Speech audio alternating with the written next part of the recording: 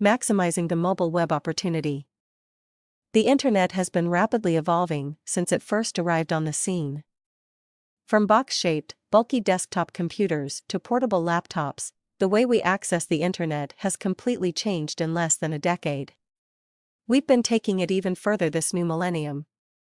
Now anyone can access the internet from their mobile devices on the go. What this means for people is that, no matter where they are, they can also have a direct link to the internet and the social networking sites they love to use.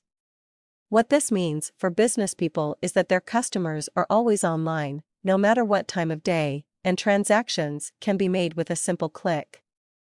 If you're operating an online business, then the best thing you can possibly do is to optimize your website slash business in order to maximize this unique and rapidly growing mobile web opportunity. If you choose not to, your business will suffer because your competitors are surely out there optimizing their sites with the latest and greatest applications and software tweaks. When websites first started going mobile a few years ago, they were crude versions that were slow to load and didn't offer even half of the main site's features.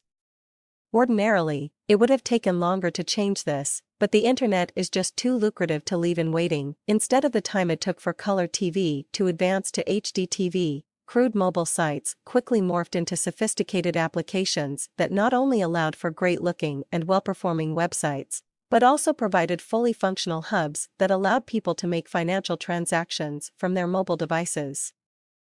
This was huge for business.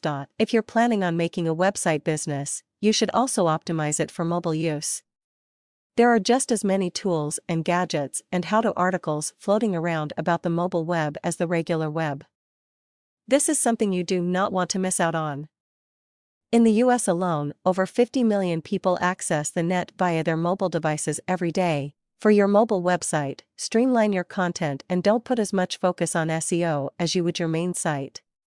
The idea here is to offer a portable version of your site to people who want to access it on the go. Besides, if your main site is correctly trafficked, then your mobile site will appear. Also, check out the variety of applications and widgets available for mobile integration.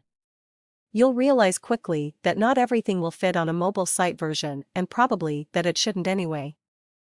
With mobile sites, not everything is needed. The main factor here, though, is that you ensure your mobile site is functioning properly. This means you'll have to access it through mobile means and refine anything that's not right. Make sure your links load and that your payment systems works well. Take care to make sure that everything's in working order so you can take advantage of the huge mobile market out there. It is well worth the effort you'll put into going mobile.